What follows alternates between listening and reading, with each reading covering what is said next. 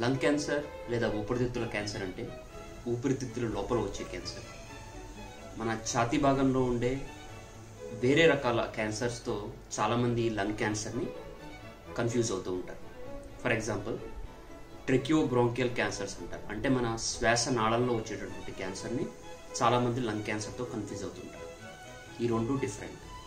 అదేవిధంగా మన లంగ్ చుట్టూ ఒక పలచటి పొర ఉంటుంది. దాంట్లో వచ్చే క్యాన్సర్ని మిసోథిలియోమా అంటారు. మీసోథిలియోమా కూడా ఈ లంగ్ క్యాన్సర్తో డిఫరెంట్గా ఉంటుంది.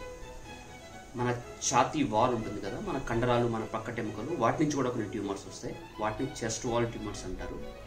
ఈ మూడు రకాల క్యాన్సర్స్ నుంచి లంగ్ క్యాన్సర్ని డిఫరెన్షియేట్ చేయడం చాలా ముఖ్యం.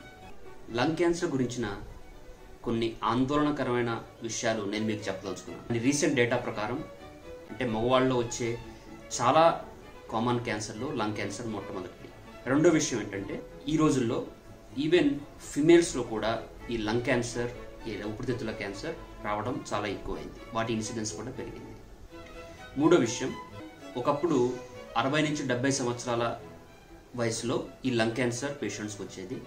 రీసెంట్గా ముప్పై లేదా నలభై సంవత్సరాల పేషెంట్స్లో కూడా ఈ లంగ్ క్యాన్సర్ని మేము ఫ్రీక్వెంట్గా. నాలుగో విషయం ఒకప్పుడు కేవలం హెవీ స్మోకర్స్ సిగరెట్ బీడీ తాగే వాళ్ళలోనే ఈ లంగ్ క్యాన్సర్ని కామన్గా చూసేవాళ్ళు. బట్ రీసెంట్గా ఈవెన్ నాన్ స్మోకర్స్ ఎవరైతే ఎప్పుడు వాళ్ళ లైఫ్లో సిగరెట్ తాగలేదో వాళ్ళలో కూడా ఈ లంగ్ క్యాన్సర్ని కామన్గా మేము చూస్తున్నాం.